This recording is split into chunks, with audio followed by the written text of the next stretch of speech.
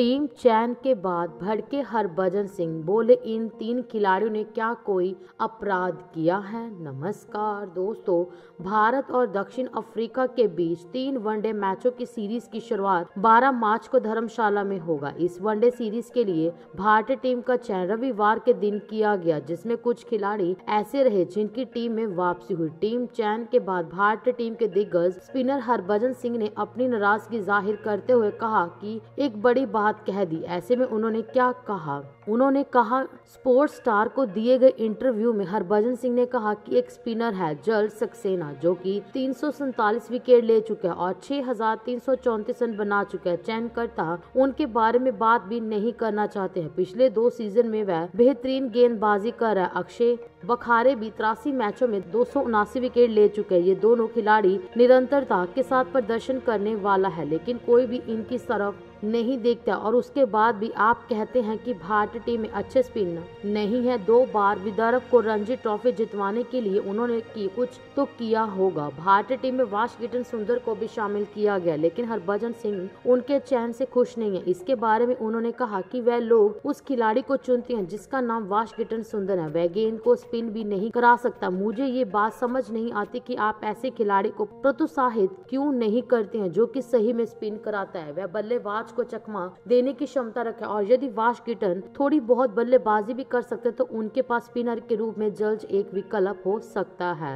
हरभजन सिंह ने आगे कहा, आपको इन गेंदबाजों को तैयार करना होगा और इन्हें आत्मविश्वास भी देना होगा कि मैं जानता हूँ कि जलज ने क्या गलत किया है। क्या जलज, बखारे और शहबाज नदीब ने विकेट लेकर कोई अपराध किया है? दोस्तों, अगर आपको हमारी ये जानकारी अच्छी लगी तो कमेंट करके बताएँ। लाइक और शेयर ज़रूर कीजिए। और आगे भी ऐसी खबरें देखने के लिए हमारे चैनल को सब्सक्राइब करना ना भूले, क्योंकि हम हर रोज ऐसी खबरें आपके लिए लाते रहते हैं। धन्यवाद।